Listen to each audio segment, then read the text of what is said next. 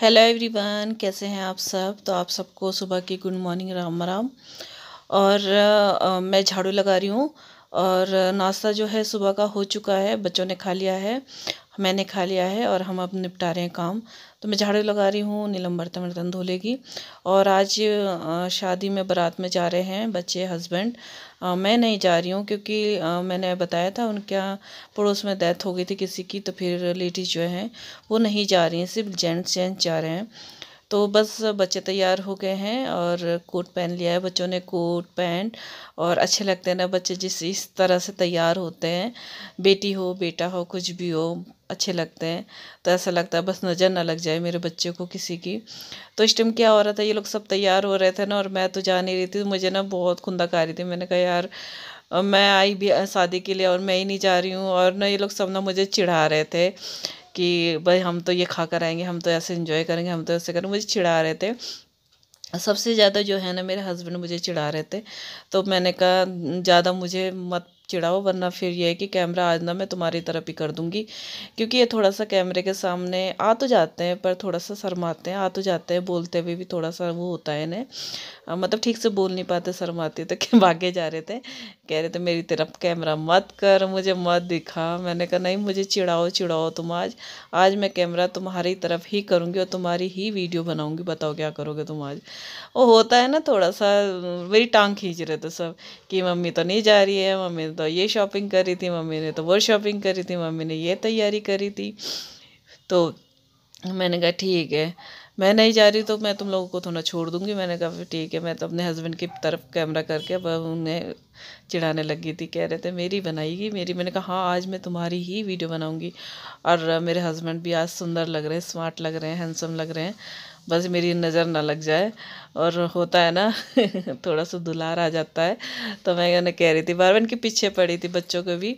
मैंने कहा, एक तो फ़ोटो खिंचा लो यार, मेरे से, मेरे साथ एक फ़ोटो खिंचा लो, एक सेल्फी दे दो, ऑटोग्राफ दे दो, ऐसे ऐसे करके मैं चिढ़ा रही थी इन्हें।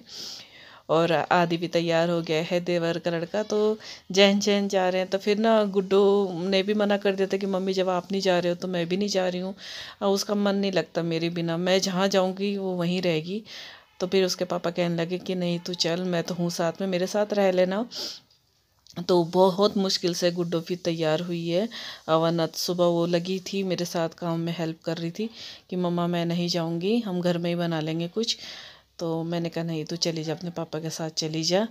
और देखो ना मेरे हस्बैंड कैसे कह रहे हैं, आज मेरी कह रहे थे, आज मुझे ही रखेगी तू पूरी वीडियो मैंने कहा हाँ आज मैं तुम्हें ही रखूँगी पूरी वीडियो में। और यहाँ पे मैं ना कैमरे ले लेके सबकी वीडियो बना रही थी, कुछ फ़ोटो वगैरह भी खींची हैं बच्चों की। और सबसे मैं कह रही थी मैंने कहा एक फ़ोटो खिंचा लो मेरे साथ एक ऑटोग्राफ दे दो। तो मैं हस्बैंड के पास आई कह रही मैंने कहा एक फ़ोटो खिंचा लो एक ऑटोग्राफ दे दो। तो उन्होंने शर्म सी आ रही थी। तो हाय कह रहे थे हेलो कर रहे थे आपको। और बस फिर ये लोग तो शादी में गए और ये हुआ ना कि कैमरा इनके हाथ में था और ये तो थोड़ा सा इन्होंने नहीं आ, पर वीडियो जो थी बच्चों ने बनाई है थोड़ी सी भेजी है बच्चों ने ही। और ठीक से चाची के साथ? मुँह कर पीछे वो तो उधर मुँह खड़े हुए वो कौन सा देख रहे हैं यहाँ? अनु, इधर हो जाना बेटा, उसके पीछे क्यों खड़ा गुड्डो के बाहर क्या भगेगा क्या उसे?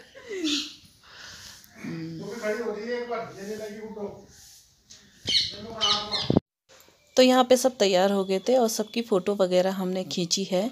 और नीलम की भी वीडियो बनाई थोड़ी सी खींच रहे थे तो उन्हें उससे शर्म आ रही थी। इसके पापा सामने खड़े थे तो फिर मैंने उन्हें बोला कि तुम थोड़ा सा बगल हो जाओ, क्योंकि वो इनसे घूंघट करती है तो फिर मैंने कहा, तू इन्हें कि तुम साइड हो जाओ थोड़ा सा उधर कर लो तो फिर मैंने कहा चलती इसकी भी क्या होता है ना कि ये फ़ोटो वगैरह जो होती हैं वीडियो जो बनती हैं, एक बहाना होता है, लेकिन ये याद रह जाती है, हमेशा के लिए कुछ यादें रह जाती हैं। तो बच्चे तो सब चले गए थे अपना पार्टी मनाने, हम शादी में, और हम लगे थे घर में काम करने के लिए। और ये लोग ना बारात में वैसे बारात की तरफ़ से गए हैं हम मतलब बच्चे जो बारात की तरफ़ से गए, लेकिन जहाँ से बारात आ रही थी वो तो दूर था, लेकिन जहाँ पे आ रही थी मतलब जहाँ पे लड़की है, वो हमारे गाँव से थोड़ी सी दूर है तो वो भी बालियान ही है, हम बालियान है तो वो भी बालियान है। तो ये समझ लो लड़की अपने घर की है तो इन्होंने मतलब जो थे मतलब हम जो थे लड़के की तरफ़ से भी थे, और फिर वहाँ कन्यादान भी लिखवाया है, क्योंकि वो भी बालियान की लड़की हम भी बालियान है तो बहन ही समझ लो। तो हमारे यहाँ होता है एक गोत्र हो तो फिर कन्यादान लिखाना होता है। और गाँव के बगल में ही था थोड़ा सा आगे जाके था और यहाँ पे यह है बारात और सामने है दूल्हे राजा बैठा है और भांजा बैठा है हमारा। और बस वीडियो जो थी ना, बच्चों के हाथों में थी ना तो बच्चों ने बनाया है जैसे भी ये तो गुड्डो ही बना रही है, गुड्डो के हाथ में। तो काफ़ी बार मैंने ने कहा भी कि थोड़ा डांस वांस की बनाते, खुद जब डांस किया था, थोड़ा सा जयमाला की तो होता है ना, हम रहते तो हमें पूरा पता रहता है कि हमें वीडियो कैसे बनानी है, कहाँ बनानी है, किस तरह से बनानी है। और बच्चों को तो कुछ आइडिया नहीं होता है, क्योंकि हमें अपना है तो अपना तो हमें रहता ही है। आइडिया कि किस तरह से क्या होना चाहिए। पर कोई बात नहीं बच्चों ने जैसे भी बना बना के भेजी मेरे पास सेंड करी। आ, मैं वही अपलोड करूँगी वही आपके साथ शेयर करूँगी। और बारात का तो ज़्यादा ये नहीं था, यहीं से गए थे, बारात तो वहाँ से आ चुकी थी। यहाँ पे थोड़ा सा नाच गाना हो रहा था और वहाँ से तो बारात जो है बिल्कुल ऐसी ही आई है, सोनी बारात है। वहाँ पे ढोल ढाल कुछ नहीं बजा है, कुछ रौनक नहीं, कुछ नहीं हुआ वहाँ पे। बस यहाँ पे जब गाँव में आ गई थी बारात तब लड़की वालों के, तब जाके यहाँ पे थोड़ा सा नाच गाना इन लोगों ने किया है। एक क्या होता है ना, एक अरमान होते हैं। हर किसी के अरमान होते हैं, शादी जो होती है, एक बार होती है, बार बार तो होती नहीं है। तो वो अरमान जो है शायद इनके मन में ही रह गए होंगे। बस थोड़े बहुत थे जो थोड़ा सा इन्जॉय करने का नाच गाने का वो उन्होंने यहाँ पे किया है। और पर क्या करें ऐसे में फिर ज़्यादा धूमधाम मचाना भी ठीक नहीं रहता है ना? आ, क्योंकि जो था इनके पड़ोस में था और अपने परिवार का था तो फिर ज़्यादा होता नहीं है। पर यहाँ पे फिर इन्होंने जहाँ पे लड़की वाले हैं वहाँ पे थोड़ा सा इन्होंने नाच गाना करा है। तो ये जो नाच रहे हैं ये दूल्हे के जीजा मामा लगते हैं। दो तो उसमें जीजा हैं। एक नहीं एक जीजा है और मामा लगते हैं सारे। माँ नहीं सॉरी नहीं मामा नहीं मौसा लगते हैं मौसा। हाँ मौसा लगते हैं। तो बस ये ये इनका नाच गाना हो रहा है। बच्चों ने वही वीडियो बनाई है शेयर आपके साथ मैं शेयर कर रही हूँ। तो आप प्लीज़ बताना कमेंट बॉक्स में कि आपको कैसा लगा। आ, वैसे भी शादी का वीडियो है तो कंप्लीट तो है नहीं कि पूरी जयमाला मैंने आपको दिखाई, फेरे वगैरह दिखाए। मैं होती तो शायद वीडियो में कुछ और भी दिखता, सारी शादी दिखती।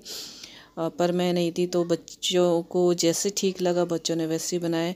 फिर जयमाला के टाइम पर भी ये लोग आ गए थे शाम। अंधेरा हो गया था, काफ़ी लेट हो गया था ना बारात का।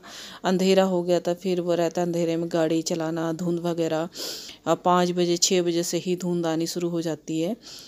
तो कोई बात नहीं, जैसा भी हाथ लगा, कहना थोड़ा लगा, ज़्यादा लगा, कोई बात नहीं। और वैसे मेरा था नहीं कि मैं वीडियो डालूँ। फिर जब बच्चों ने बना ली थी तो मैंने कहा, चलो, वीडियो शेयर कर देते हैं, थोड़ी बहुत है, कोई बात नहीं। और ये जो खड़े हैं, ये लड़के के पापा हैं, मेरे हस्बैंड के जीजा लगते हैं ये। और बस फिर ये आगे थे और जयमाला के टाइम पे जब जब जयमाला हो रही थी, तभी आ गए थे। और भीड़ ज़्यादा थी ना तो बच्चे कह रहे थे कि, मम्मी, हम आगे नहीं जा पाए वीडियो बनाने के लिए। जब जयमाला हो रही थी, भीड़ ज़्यादा थी। और मेरा भतीजा होता तो वो तो शायद भीड़ में भी घुस के वीडियो बना लेता, जैसे उसने पंजाब में बनाई थी, इतनी भीड़ में घुस के जयमाला की वीडियो बना ली थी। पर मेरे बच्चे थोड़े से शांत और थोड़े से मिले टाइप के हैं। उन्होंने डांस वांस भी नहीं करा, किनारे ही खड़े थे। तो बस वीडियो में ज़्यादा कुछ है नहीं, यही है और मुझे लगा चलो थोड़ा बहुत है, कोई बात नहीं, इसी को शेयर कर देते हैं। पसंद आएगा लाइक कीजिएगा और अगर नहीं भी आया होगा तो कोई बात नहीं अनलाइक आप कर सकते हैं, आपकी अपनी अपनी मर्ज़ी है। तो बस थोड़ा सा आप ये देखिए, लड़की है और धुआँ